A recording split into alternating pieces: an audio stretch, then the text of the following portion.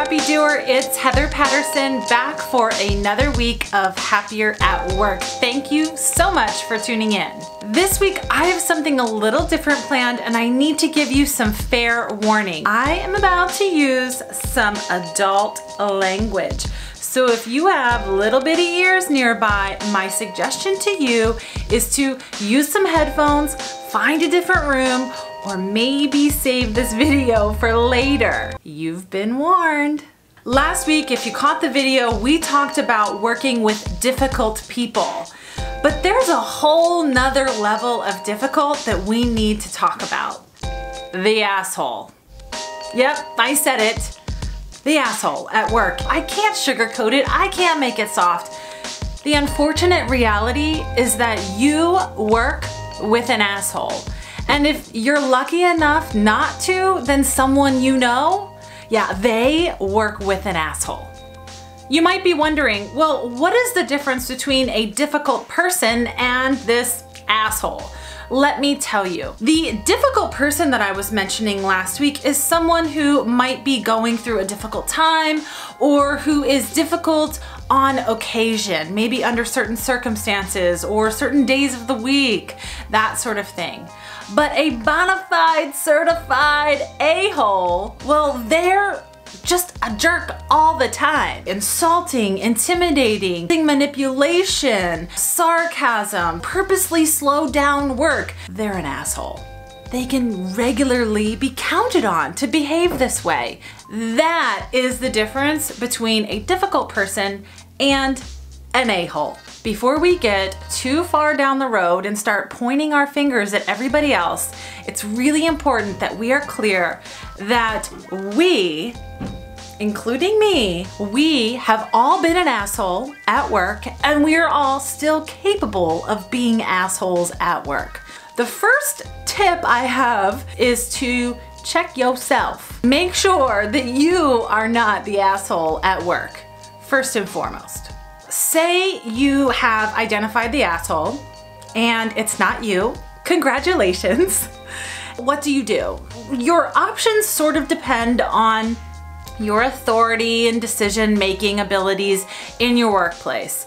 I'm going to assume that you have some leadership authority influence at work. My suggestion to you is to get rid of them, fire them, Get them out of your organization. You need to move quickly. Once you realize that they are the asshole, move quickly with this and get them out of there. It does take some time and observation to make sure that this isn't just a one-off instance, but once it's been identified, you gotta move fast. The asshole is a major liability to your happiness, employee happiness, and it's a whole slew of legal liability to concern yourself with as well. Get them out of there. I know, sometimes it's not that easy. Sometimes you have a big project to complete. Fire them anyway. Sometimes you have a whole slew of red tape to work your way through and it's a total pain in the you know what work through the red tape, get them out of there. Sometimes you have a personal relationship with this asshole. Hmm. Well, I don't care. Get them out of there. They are a liability. You can see my recommendation on getting the asshole out of your organization. It really doesn't matter what your circumstances and your but whatever, whatever. It doesn't matter. Get them out of there.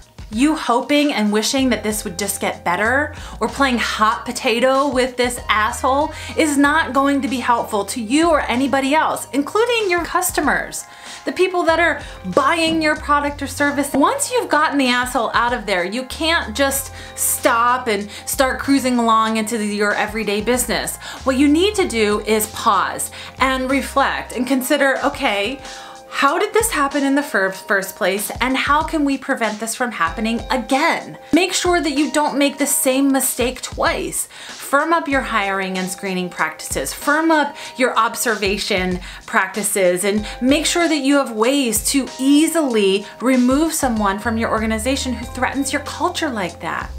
I wish that I would have come up with this very clever and striking way to get you to realize that are an issue at work, but I can't. This video was inspired by one of my favorite books, The No Asshole Rule by Dr. Robert Sutton.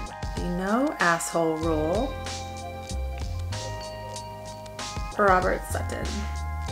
It's gonna be a little hard a little hard to see that there. This is an excellent read and just a wonderful confirmation that regardless of how talented or skilled someone is, when they're an asshole, they don't belong in your organization. So get them out. Adopt the no asshole rule and continue to refine and refine and refine as you move about your business. That's all I have for you today. Thank you for sticking it out with me today and listening to my potty mouth. I promise it will not be a regular thing. Don't forget to subscribe and share this message with a family member, friend, or coworker who might need to adopt this rule too. Thanks so much and I will see you next time.